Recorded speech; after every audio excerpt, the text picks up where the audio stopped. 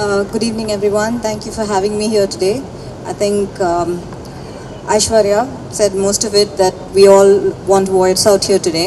I think it's extremely important we at least have voices that we're able to tell how hot it is, what we need, and how thirsty we are in, in the weather that is, uh, and all the global warming that's happening right now.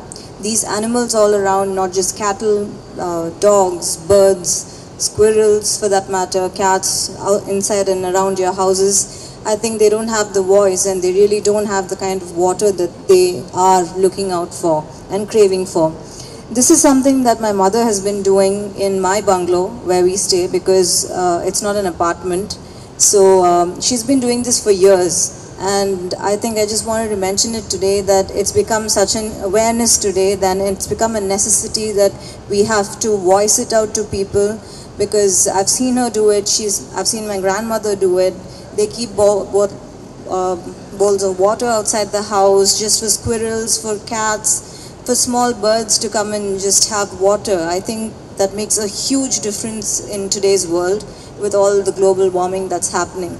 So um, I thank PFCI for calling me for this and I did want to be a part of this initiative because it's something very, very important. And if our voices can spread some kind of awareness and make at least two people do it, I think uh, that's going to make a huge difference. So thank you so much, Mr. Arun, for reaching out to me. And thank you, PFCI, for having me here today. I know how hot it is, and I was quite adamant that we should have it in the evening because I didn't know how difficult it is for everyone to come in the morning in this heat. So uh, I, I thank them for obliging and having it in the evening. So let's do our part and uh, I think it's very important that um, like we say charity starts at begins at home.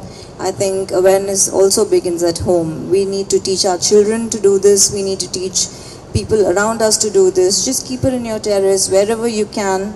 Just water, just water. That is something, our body is made of 80% of water. So you know how important water is for everybody, all, all kinds of beings. So, and the scarcity is becoming so much today that it is alarming.